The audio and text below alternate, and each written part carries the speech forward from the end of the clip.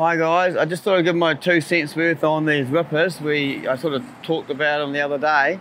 Um, basically, the, we stock a Terralander and a Super Grubber, and the idea of what we do at home is in our autumn um, cultivation, we rip all our brassica crops, our, our chicory crops, rip them all, power harrow them, roller drill them.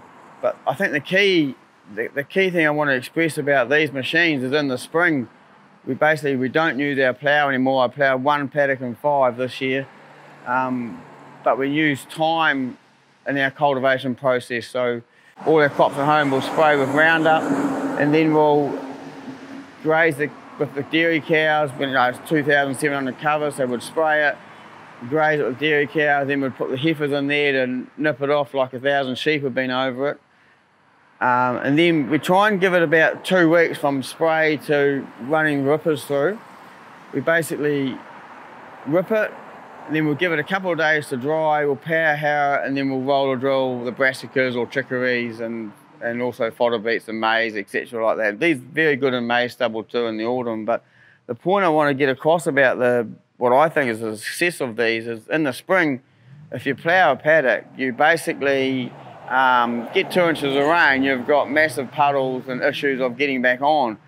Where I find at home, we rip the paddock, get two inches of rain, give it a day, we can be back in power harrowing it. So although they're, they're destroying the structure of the, of the ground underneath, the water's getting away and we can really get back on the, on the ground to get the crops in in time. So that's probably one of the main key ingredients I'd like to get across about how good these machines are, um, is, is the ripping versus the ploughing on that primary cultivation. We, our plough basically stays in the shed. So if you're ever looking um, to buy a plough this year, I'd really seriously consider buying one of these first. And also, um, there's a time thing. You can do two hectares an hour thereabouts, um, where for four furrow, five furrow plough, you know, you, you do a hectare an hour, and and therefore, you know, obviously a lot quicker with that sort of 150 horsepower type application.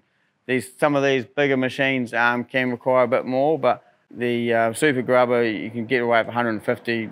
My one at home is very similar to this, and we're running 145. Uh, uh, CVX 1135, and I did two hectares last night. So, um, yeah, just an update on the rippers, and uh, maybe next week or so we might just talk a bit more about the roller drills. And don't forget, CD Field Days next week. We're going to be there. Um, come and see the guys. They're lovely. Uh, bring your checkbook because they're going to love it, and they've got something for you for sure. Thanks for watching.